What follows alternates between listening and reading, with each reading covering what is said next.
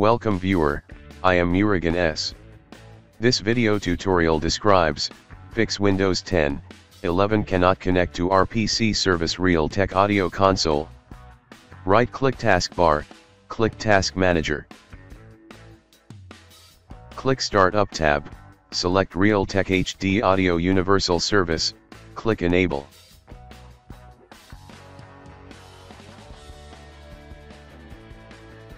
Now enabled. Type services in Windows search bar, click services.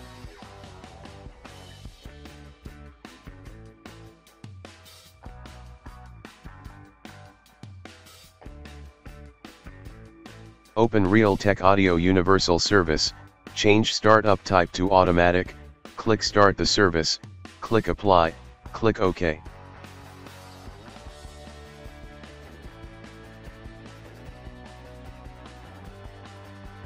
Restart system.